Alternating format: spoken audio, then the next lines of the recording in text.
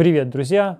Я Леха, вы на канале Гараж на окраине, и мы собираем Днепр. И вот во время сборки э, оказалось, что ну, центральной подножки на мотоцикле нету, боковая подножка немножко, короче, не, не свой, свою функцию выполнять перестала пару тысяч километров назад, видно, у хозяина предыдущего.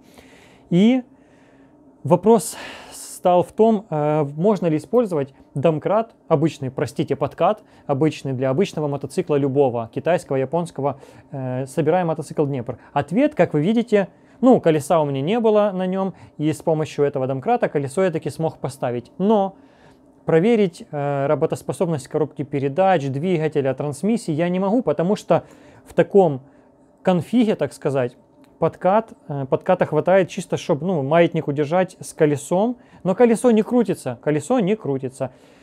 И как бы ответ напрашивается, Леха, перестань морочить голову, закажи себе или сделай центральную подножку. Обязательно это сделай, тем более вот она у нас лежит. Чуть-чуть она, правда, сюда не подходит, потому что она кастомная и от немножко другой рамы.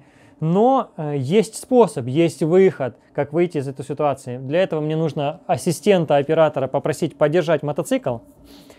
И чтобы поднять колесо повыше, я просто беру этот же подкатик. Так, держишь? Так, давай. Чикс. Я беру этот же подкатик. Все, надеюсь, держишь. И просто-напросто вот эти вот его лапки переворачиваю вверх ногами переворачиваю вверх ногами и ставлю, так, я сказал переворачиваю, и упираю точно в те же места. Ну что, пробуем. Раз. Я думаю, что упирать их надо равномерно к центру, что правую, что левую, чтобы не поломалось, потому что э, ситуация какая? Как видите, вот эти вот рычажки, они высунуты максимально внутрь, потому что рама Э, достаточно узкая не рама, а задний маятник. Несмотря на то, что там и колесо заднее, хотя оно и тоже узкое, и кардан, и все, все на свете. Итак, пробуем, поднимаем. И пробуем, поднимаем. Держишься, молодец. И вуаля! Заднее колесо теперь крутится, и высота от дорож, ну, от земли, да, при моем, так сказать, конфиге сантиметра 3, наверное, получается, потому что рука у меня пролазит, еще и с запасом еще и можно крутить. Все.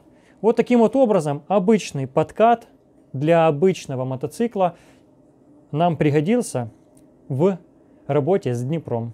Если видео было полезным, обязательно ставьте лайки, подписывайтесь на канал, потому что на этом канале мы начали работать с этим великолепным мотоциклом МТ Днепр, в нашем случае 11. Все, всем пока.